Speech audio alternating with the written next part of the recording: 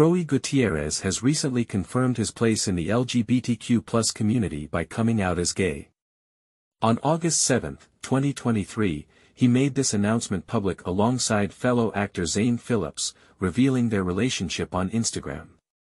Their romance was celebrated at the Gitano Island Pride Party in New York, where they shared affectionate moments and kissed publicly, marking a significant moment for both of them. Froy Gutierrez is well known for his roles in popular series such as Teen Wolf, Hocus Pocus 2, and Cruel Summer, while Zane Phillips gained recognition for his performances in Fire Island and Glamorous.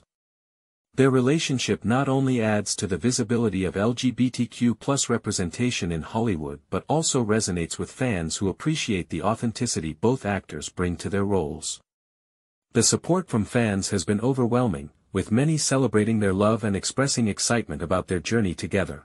By openly discussing his sexuality, Gutierrez is helping to pave the way for more inclusive conversations in the entertainment industry, encouraging others to embrace their true selves. This moment is a reminder of the importance of representation and acceptance in our society, making Froy Gutierrez a role model for many.